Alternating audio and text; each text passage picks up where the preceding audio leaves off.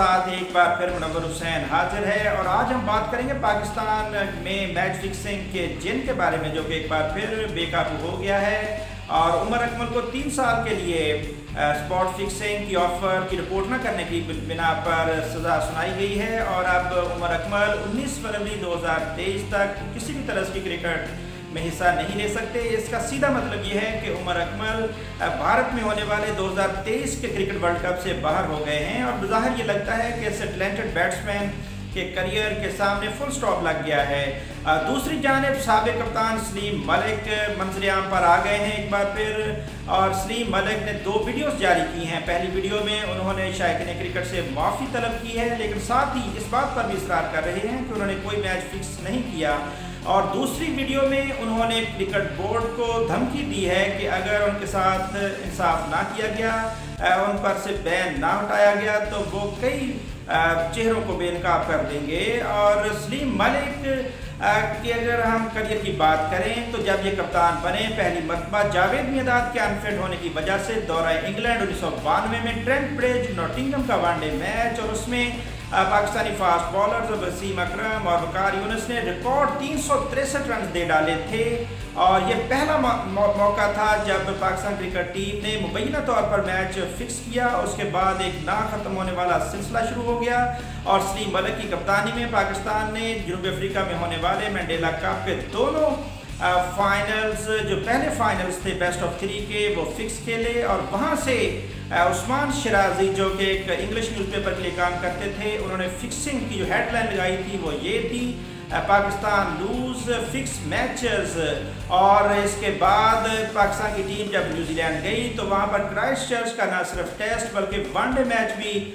मुबैना तौर पर फिक्स था और ये वही वनडे मैच था जिसमें वसीम अकरम ने रहमान को ख़राब बॉलिंग करने के लिए एक लाख पाकिस्तानी रुपए दिए थे और अताउर रहमान ने जस्टिस क्यूम कमीशन की इंक्वायरी में इस बात का एतराफ़ किया था और सलीम मलिक पर इल्ज़ाम लगाया था, लेकिन फिर उस वक्त के chairman cricket board Khalid Mahmood और वसीम अक्रम के दबाव में आकर तौर रहमान ने अपना बयान हल्फी वापस ले लिया था और खालिद महमूद अब ये कह रहे हैं कि अगर तौर रहमान वो बयान वापस ना लेते तो वसीम अक्रम भी इसलीम मलक की तरह ताहिया पाबंदी का शिकार होते और वसीम अक्रम जब कप्तान थे, उन्नीस सौ निन्यानवे के क्रिकेट वर्ल्ड कप पाकिस्तान ने फाइनल ज़रूर खेला था, लेकिन तीन मैचेस पर पीसीबी के सबक चेयरमैन उस वक्त के चेयरमैन खालिद महमूद ने तहफात का इजहार किया। उनका यह कहना है कि पाकिस्तान की टीम बांग्लादेश के खिलाफ, भारत के खिलाफ, लेस्टर शायर में और फिर लॉर्ड्स पर ऑस्ट्रेलिया के खिलाफ एक तरफा मुकाबलों के बाद हारी और उनके शदीद तहफात हैं कि ये मैचेस फिक्स थे।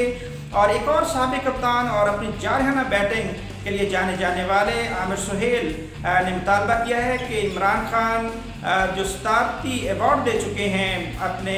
शागिर्द वसीम अक्रम को उनसे सदारती अवार्ड वापस लिया जाए। इसी तरह से एक और सबक चेयरमैन जनरल तोकीर ज़िया भी इस लड़ाई में इस रिंग में उतर चुके हैं। उनका ये कहना है कि वसीम अक्रम से खिलाड़ियों को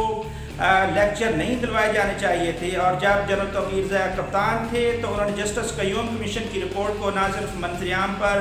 यानी पब्लिश किया था, बल्कि उन्होंने आईसीसी की हदायत की रोशनी में 2003 के वर्ल्ड कप के लिए वसीम अक्रम को कप्तान नहीं बनाया था। और इससे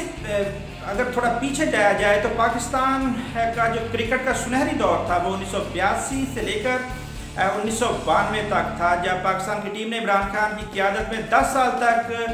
दुनिया की बेहतरीन टीम की तरह बड़ी बड़ी टीमों को नाको चने चुकवाए थे और फिर उन्नीस का वर्ल्ड कप अपने नाम किया था। और इमरान खान एक इंटरव्यू में कह चुके हैं कि फिक्सिंग में मुलबस खिलाड़ियों को इबरतनाक सजाएँ देनी चाहिए। इसी तरह से इस नासूर का खात्मा किया जा सकता है। इमरान खान कहते हैं कि जब उन्नीस सौ तिरानवे में वो कजाफी स्टेडियम में प्रैक्टिस के लिए गए थे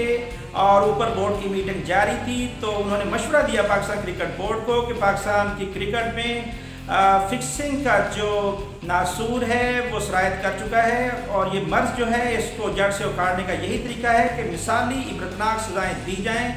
लेकिन इमरान खान कहते हैं कि पाकिस्तान क्रिकेट बोर्ड हमेशा कमज़ोर बोर्ड होता है, क्योंकि जो बोर्ड इन वेटिंग होता है उन खिलाड़ियों पर मुश्तमिल या वो लोग जो स्टेक होल्डर्स होते हैं, वो देख रहे होते हैं कि जैसे टीम की परफॉर्मेंस ख़राब हो, वो तनकीद करें और वो नया बोर्ड नए बोर्ड के तौर पर सामने आए और पुराने बोर्ड की छुट्टी हो जाए। तो इमरान खान का जो मौक़ है कि उनके दौर में किसी तरह की फिक्सिंग नहीं हुई, बल्कि किसी ने कभी उनको ऑफ़र भी नहीं की। लेकिन उन्नीस से ऑनवर्ड पाकिस्तान क्रिकेट में जितने करप्शन के वाक़ात हुए हैं, शायद दुनिया के किसी मुल्क में इतने ज़्यादा नहीं हुए। इसकी वजह यह है कि पाकिस्तान फिक्सिंग को इतना संजीदा नहीं लिया गया और इसके लिए अभी तक कानून साजी नहीं हो सकी। और दूसरी जानब, पाकिस्तान क्रिकेट बोर्ड के चेयरमैन एहसान मानी जो हैं वो 2018 में एक मीडिया टॉक में ये कह चुके हैं कि वो जस्टिस कयूम कमीशन की जो रिपोर्ट है, उसको ज़्यादा सीरियस नहीं लेते और ये कोई ज़्यादा फैक्ट्स पर मुश्तम रिपोर्ट नहीं है। लेकिन हकीकत यही है कि मैच फिक्सिंग की इस इंक्वायरी के नतीजे में, जिसमें ऑस्ट्रेलिया के मार्क वॉ शेन वॉन के इंटरव्यूज़ भी किए गए थे, उनसे क्रॉस एग्जामिन किया गया था सिडनी में जाकर, जब पाकिस्तानी अदालत सिडनी में लगी थी। और इस, ये जो तहकीकती रिपोर्ट है, इस पर अगर मनोवान अमल किया जाए तो पाकिस्तान क्रिकेट से ये गन साफ़ हो सकता है। और सलीम मलिक को ना सिर्फ़ क्रिकेट से बैन ही रहना चाहिए, बल्कि जो दीगर किरदार है मैच फिक्सिंग के, जिसमें वसीम अक्रम वकार यूनस